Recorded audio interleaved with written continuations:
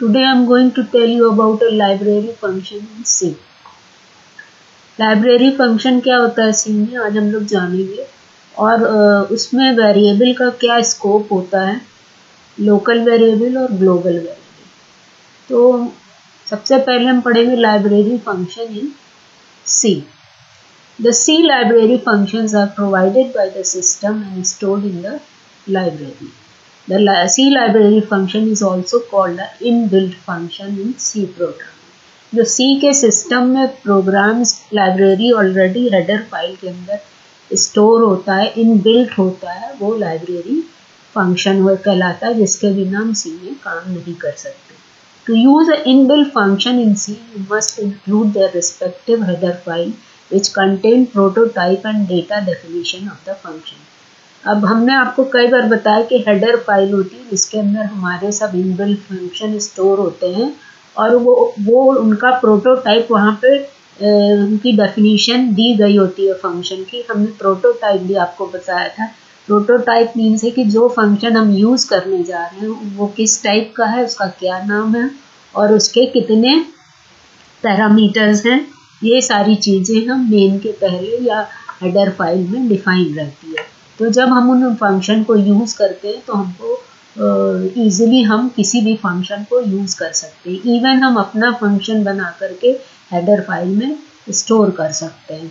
तो इसीलिए सी बहुत पावरफुल मानी जाती है, क्योंकि हम तुरंत अपने यूज़र डिफाइंड फ़ंक्शन को स्टोर कर सकते हैं सी की हेडर फ़ाइल में, और उसको यूज़ कर सकते हैं अकॉर्डिंग टू अपनी requirement C program to demonstrate the use of library function अब ये लाइब्रेरी फ़ंक्शन कैसे यूज़ होता है, उसके लिए हमको हेडर फ़ाइल यूज़ करनी पड़ती है, जिसमें से हमने S T D I O dot H आपको बताइए पोनियो डॉट एच बताइए, इसके अलावा मैथ डॉट एच भी बताइए सी टाइप डॉट एच है जिसके अंदर हम लोग डिफरेंट टाइप के फ़ंक्शन पहले से जो डिफाइन है, उनको यूज़ करके दिखाएँगे। जिसमें है, पहले मेन में हमने कुछ वेरिएबल डिफाइन किए और उनकी वैल्यू असाइन की। वेरिएबल है I minus ten equals to two और डी इक्वल्स टू टेन ये सारे वेरिएबल इंटीजर टाइप के हैं, जिनको हमने डिफाइन किया और उसके बाद फ्लोट वेरिएबल डिफाइन किया, जिसमें रेडियन वैल्यू लेंगे 1.40 रेडियन मींस डिग्री की वैल्यू हो गई। और डबल वैल्यू लेंगे, जिसमें D one three point zero D two four point zero अब हम मैथमेटिकल फ़ंक्शंस को यूज़ करेंगे, जिसमें A B S I A B S I means negative value को वो पॉजिटिव कर देता है। तो माइनस टेन को वो टेन कर देगा। देखिए आउटपुट टेन आ रहा है। उसके बाद वो साइन की वैल्यू निकालेगा degree one point four three का कॉस की वैल्यू निकालेगा और एक्सपोनेंट निकालेगा टू का। टू का एक्सपोनेंट निकालेगा। तो साइन की वैल्यू देखिए, आ गई point nine nine zero one zero five और टेन कॉस की वैल्यू आ गई one point one four zero three three two और उसके बाद टू की ई की टू की एक्सपोनेंट वैल्यू जो है, वो हमारी आ गई seven point three eight nine zero five six ये हमने सी प्रोग्राम में रन करके आउटपुट निकाला है। जब हम प्रैक्टिकल सेशन करेंगे तो इसको डिटेल में बताएँगे। उसके बाद डी इक्वल्स टू टेन है, जिसका लॉग निकाला। तो लॉग निकालने पर ये आ गया two one seven eight two और उसके बाद हमने दो वैल्यू डबल में लिए थ्री और four three point zero and four point zero उसकी पावर निकालेंगे। जैसे हम लोग टू द पावर टू करते हैं तो फोर आता है, उसी तरह से थ्री की पावर फोर जब हम करेंगे तो एट्टी वन आ जाएगा। थ्री थ्री ज़ा नाइन नाइन थ्री ज़ा एट्टी वन आ जाएगा इसमें। Scope of variable in function अब हम लोग पढ़ेंगे कि जो वेरिएबल हम फ़ंक्शंस में यूज़ करते हैं, उनका क्या स्कोप है। Scope in a region of a program and the scope of the variable refer to the area of a program where the variable can be accessed after its declaration. अब देखिए, आपका किसी भी वेरिएबल का scope जो होता है, वो डिपेंड करता है कि वो ब्लॉक में डिफाइन है, कि फ़ंक्शन में डिफाइन है, कि मेन फ़ंक्शन में डिफाइन है कि मेन फ़ंक्शन के बाहर डिफाइंड है। उसके हिसाब से वेरिएबल का स्कोप फ़ंक्शंस में होता है।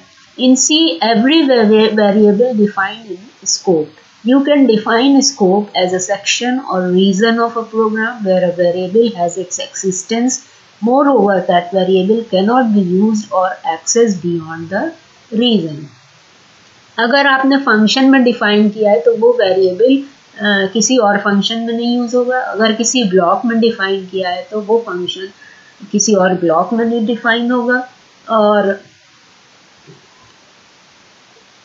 can not be use access और अगर ब्लॉक के अंदर ब्लॉक है तो ब्लॉक में जो डिफाइंड वैल्यू अंदर वाले ब्लॉक में जो डिफाइंड वैल्यू है, वो बाहर वाले ब्लॉक में नहीं होगी, लेकिन बाहर वाले ब्लॉक की वैल्यू अंदर वाले ब्लॉक में हो जाएगी। In C programming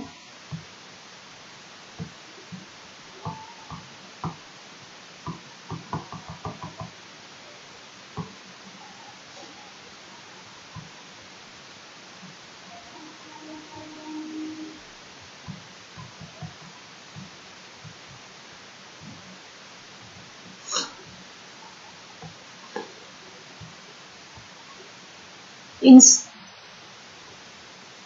in C programming, variable declared within a function is different from the variable de declared outside of the function. जो अभी हमने आपको बताया.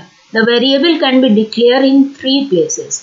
These are inside a function or block या तो किसी फ़ंक्शन में डिफाइन होगा या तो किसी ब्लॉक में डिफाइन होगा उसको हम लोकल वेरिएबल कहेंगे out of all function when we define the variable it is called global variable मतलब मेन के पहले हम डिफाइन करेंगे। लेकिन हमने बताया था आपको कि ग्लोबल वेरिएबल बहुत कंफर्म हो, तभी डिफाइन करिए। In the function formal parameter और फ़ंक्शन में जो पैरामीटर हम डिफाइन करते हैं, वो क्या होता है? फॉर्मल पैरामीटर होता है। तो जो फ़ंक्शन के आर्ग्यूमेंट्स में वेरिएबल डिफाइन होते हैं, वो पैरामीटर कहलाता है।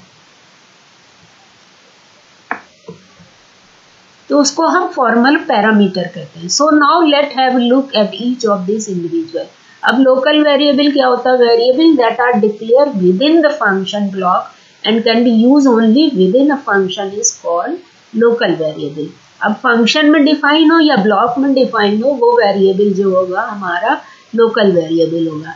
लोकल वेरिएबल जो होता है स्कोप और block scope a local scope और block is collective program statements put in a declare within a function और ब्लॉक का specific region and close within a curly bracket चाहे वो फ़ंक्शन में डिफाइंड हो, चाहे वो ब्लॉक में डिफाइंड हो, वो हमेशा करली ब्रैकेट के अंदर डिफाइन होता है। And variable line inside the block are term as local variable all these local scoped statements are written and closed within the left curly bracket and right curly bracket braces. There are a provision for nested block also in C which means that there can be a block or function within another block or function. So it can be said that variable that are declared within a block can be accessed within a specific block and all other inner block of the block. हमने आपको बताया ना कि बाहर के block में अगर कुछ डिफाइन है तो वो अंदर के ब्लॉक में यूज़ हो जाएगा। लेकिन अगर अंदर के ब्लॉक में कुछ डिफाइन है तो वो आपके बाहर के ब्लॉक में नहीं यूज़ होगा।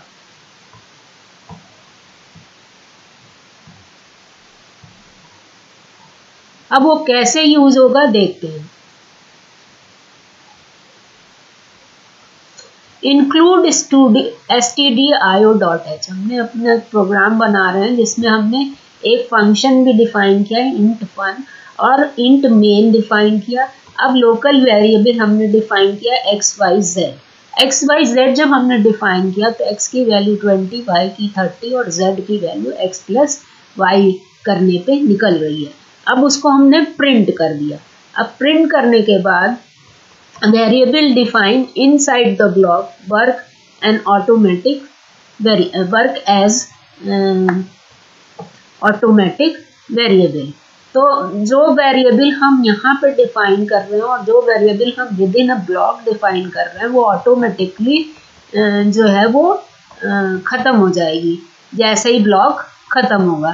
तो हम यहाँ पे डिफाइन कर रहे हैं same variable name can be taken inside any block किसी ब्लॉक के अंदर सेम वेरिएबल को हम यूज़ कर सकते हैं। यहाँ पे हम z सेम वेरिएबल ले रहे हैं, जो कि मेन में भी z वेरिएबल डिफाइंड है तो एरर नहीं आएगी, क्योंकि वो within a block defined हो रही है तो रीडिफाइन एरर नहीं आएगी।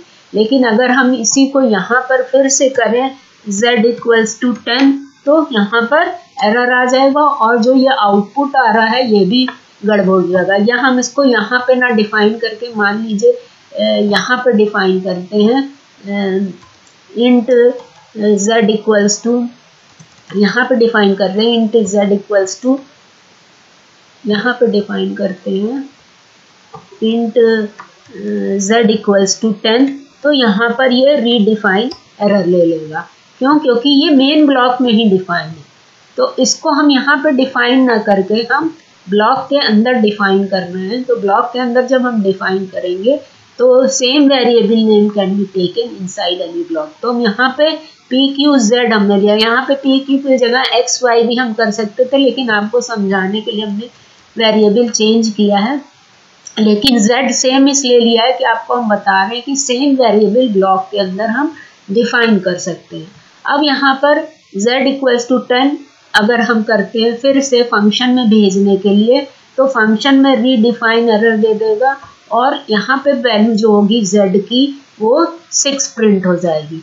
लेकिन जब हम यहाँ पे z को फिर से डिफाइन करेंगे तो रीडिफाइन एरर लेगा क्योंकि वो ब्लॉक के बाहर है। अब हमने यहाँ पर जब ब्लॉक के अंदर इसको डिफाइन किया तो बार बार स्किप हो जा रहा है। तो जब यहाँ पे फ़ंक्शन हम कॉल करेंगे तो variable define in a function is automatic variable हमने आपको बताया कि ऑटोमेटिकली वो खत्म हो जाती है उसकी वैल्यू को। तो यहाँ पे तो रीडिफाइन एरर ले लेगा, लेकिन जब हम इसके अंदर डिफाइन कर देंगे और जब हम पहले बिना बिना डिफाइन किए जब प्रिंट करेंगे तो यहाँ पर एरर आ जाएगी। क्यों? क्योंकि इसको z की वैल्यू नहीं मिलेगी। वो z की वैल्यू आपकी ब्लॉक में यूज़ हो रही है या मेन फ़ंक्शन में यूज़ हो रही है। तो जो फ़ंक्शन में वैल्यू डिफाइन होती है, वो दूसरे फ़ंक्शन में नहीं यूज़ हो पाती, क्योंकि वो ग्लोबल वेरिएबल नहीं है, वो लोकल वेरिएबल है।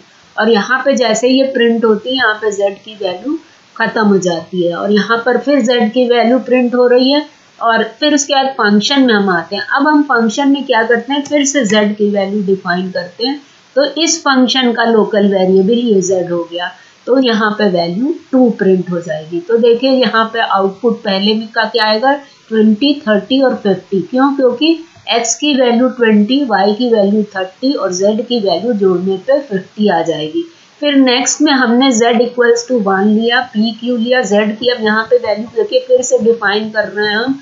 और उसके बाद उसको जोड़ रहे हैं तो यहाँ पे z की वैल्यू सिक्स आ जाएगी। तो आउटपुट हमारा टू फोर और सिक्स आ जाएगा। अब हम जब पहले डिफाइन करते हैं z की वैल्यू तो नहीं डिफाइन करते हैं और फ़ंक्शन में भेजते हैं तो फ़ंक्शन में एरर बोल देता है, क्योंकि इसको z की वैल्यू नहीं मिलती है। तो हम इसको int z equals to two define करते हैं तो z की वैल्यू टू मिल जाती है और आउटपुट टू होता है। तो इस तरह से z यहाँ पर टू है, यहाँ पर जुड़ने के बाद सिक्स है और यहाँ पे जुड़ने के बाद फिफ्टी है।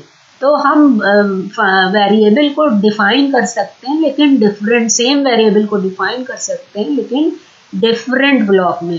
पहला है मेन फ़ंक्शन दूसरा है करली ब्रैकेट ब्लॉक ब्लॉक में डिफाइन किया है, और तीसरा है सेपरेट फ़ंक्शन में डिफाइन किया, जहाँ पर वैल्यू को वर्क कर रही है लोकल वेरिएबल जैसी। अब हम लोग चलते हैं, देखते हैं क्या होता है ग्लोबल वेरिएबल जो वैल्यू हमने यहाँ पर ब्लॉक के अंदर z की मिली है, उसको हम मेन फ़ंक्शन में नहीं यूज़ कर सकते। क्योंकि ये z की वैल्यू जैसे ये ब्लॉक ख़त्म होगा, ये ऑटोमेटिकली ख़त्म हो जाएगी इसकी वैल्यू प्रिंट होने के बाद।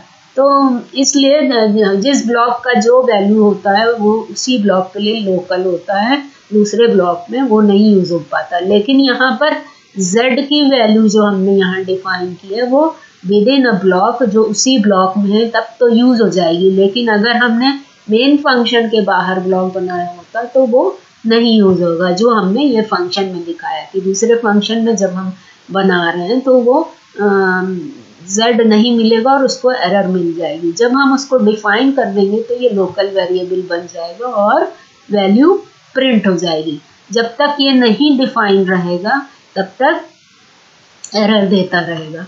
तो इस तरह से लोकल वेरिएबल तीन जगह यूज़ हो सकता है मेन फ़ंक्शन में आपके ब्लॉक ब्लॉक में और सेपरेट फ़ंक्शन में। अब आया global variable variable that are declare outside of function block and can be accessed inside the function is called global variable अब ग्लोबल वेरिएबल ऐसा वेरिएबल होता है जो हर जगह यूज़ हो सकता है तो ग्लोबल का स्कोप क्या होता है? Global variable are defined outside the function और any specific block in most of the cases on the top of the C program these variable hold their values all through the end of program and access within any of the function define in the program अब ये खतरनाक variable है। इसको अगर आप define कर देते हैं इनके पहले तो हर जगह आप इसको एक्सेस तो कर सकते हैं। लेकिन अगर प्रॉपर यूज़ नहीं करेंगे तो आपकी आउटपुट जो है गड़बड़ हो सकती है। Any function can access variable defined within the global scope its availability stay for the entire program after being declare तो प्रोग्राम में डिक्लेयर करने के बाद ये कहीं पे भी यूज़ हो सकता है। अब एग्ज़ाम्पल क्या है? Include S T D I O dot H global variable definition int z equals to ten अब यहाँ पे देखिए, हमने मेन के पहले z को as a global variable define किया। z की वैल्यू टेन ले ली। अब लोकल वेरिएबल डिफाइन किया और उसको इनिशियलाइज किया मेन में। हमने फिर से लिया int x y x is equal to ten twenty and y equal to thirty और z equals to x plus y तो अब सेम वैल्यू फिर आएगी, लेकिन अभी अब फ़र्क क्या हो गया? अब हमने फन फन को कॉल किया। फन को जब हम कॉल करेंगे तो यहाँ पे z की वैल्यू जो है, वो ग्लोबल हमने डिफाइन की है। यहाँ पे देखिए z इक्वल्स टू टेन किया है तो z की यहाँ पे वैल्यू तो फिफ्टी करेगा, लेकिन जब हम फ़ंक्शन के अंदर यूज़ करेंगे तो वो टेन यूज़ कर देगा, क्योंकि हमने ग्लोबल वेरिएबल क्या किया है? टेन डिफाइन किया। तो ग्लोबल मीन समझे कि जो वैल्यू हमने एक बार डिफाइन कर दी, वो हर जगह पर उसकी वैल्यू टेन ही रहेगी। तो यहाँ पर z equals to x plus y जब हम करेंगे तो वैल्यू चेंज होकर फिफ्टी हो जाएगी और फ़ंक्शन में z की वैल्यू टेन प्रिंट होगी। तो इस तरह से ग्लोबल वेरिएबल हम लोग यूज़ कर सकते हैं। अदरवाइज़ यहाँ पे फंक की वैल्यू में एरर दे देगा और उसको z नहीं मिलेगा। Global variable initialization after defining a local variable the system or compiler won't be initializing any value to it you have to initialize it by yourself it is a considered good programming practice to initialize variable before using whereas in contrast global variable get initialized automatically by the compiler as and and when defined here's how based on data type global variable अब देखिए क्या difference है global variable जैसे ही आप initial जैसे ही आप लेते हैं, वैसे वो बाय डिफ़ॉल्ट इनिशलाइज हो जाता है। लेकिन लोकल वेरिएबल को हमें इनिशलाइज करना पड़ता है। तो यहाँ पे कर रहे हैं ना, देखिए, ये एक्स और वाई को हम इनिशलाइज कर रहे हैं, लेकिन जेड को हम नहीं इनिशलाइज कर रहे, क्योंकि जेड ऑटोमेटिकली इनिशलाइज हो जाएगा ज़ीरो से। अब कैसे कैसे इनिशलाइज होगा, इसके लिए टेबल बनी हुई है। डेटा टाइप लेंगे इनिशियल डिफ़ॉल्ट वैल्यू क्या हो जाएगी? जैसे हम ग्लोबल वेरिएबल डिफाइन करते हैं इंटीजर की डिफ़ॉल्ट वैल्यू ज़ीरो करेक्टर की नल बैक स्लैश ज़ीरो जो एंटर करेक्टर के लिए लेता है फ्लोट की ज़ीरो डबल की ज़ीरो और पॉइंटर की नल वैल्यू ले लेता है बाय डिफ़ॉल्ट नल मीन्स कोई वैल्यू नहीं. तो इस तरह से ग्लोबल और लोकल वेरिएबल हम लोग डिफाइन करते हैं। दो डेटा टाइप की स्टोरेज क्लास हम लोग एक बार लेंगे, जिसमें स्टैटिक रजिस्टर एक्सटर्न और ऑटोमेटिक वेरिएबल पढ़ेंगे थोड़ा सी हमने इंट्रोड्यूस किया है कि ऑटोमेटिक वेरिएबल क्या होते हैं, जो लोकल के अंदर डिफाइन होते हैं, वो ऑटोमेटिक वेरिएबल होते हैं, क्योंकि जैसे ही फ़ंक्शन ख़त्म होता है, वो उस वेरिएबल की वैल्यू को ख़त्म कर देता है सेम वैल्यू नहीं रह जाती उसमें। तो this is all today viewer if you like it please share and subscribe I think आपको लोकल और ग्लोबल वेरिएबल अच्छे से समझ में आ गया होगा। अपने फ्रेंड्स को शेयर करिए और अगर कहीं नहीं समझ में आया तो क्वेश्चन करिए। मेरे ऑल सोशल मीडिया लिंक को ज्वाइन करिए। Technical tech Ratan channel Telegram पे ज्वाइन करिए। कम्युनिटी पे जाकर वीडियोस देखिए। सी की प्लेलिस्ट बनी है एनिमेशन इन सी करके। जिसमें एनिमेशन भी है सी में और उसको लर्न करिए। अगर कोई चीज़ समझ नहीं आती तो आप कमेंट में क्यूरी कर सकते हैं या कम्युनिटी पे क्वेश्चन कर सकते हैं कमेंट करके। So thank you viewer this is all today